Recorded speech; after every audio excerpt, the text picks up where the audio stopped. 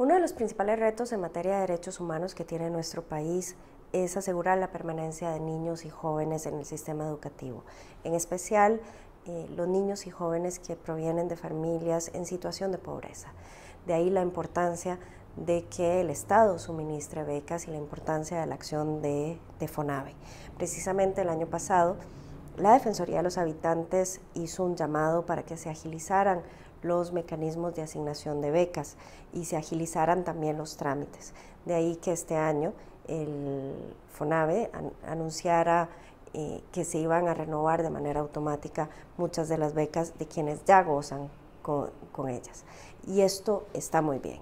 Pero también eh, hemos recibido quejas sobre la tardanza y el rezago en la asignación de citas para eh, nuevas becas, es decir, para los niños y jóvenes y niñas que solicitan una beca por primera vez. Es importantísimo que FONAVE eh, acelere estos, estos procesos de asignación de nuevas becas para asegurarnos que más niños y más jóvenes permanecen en el sistema educativo.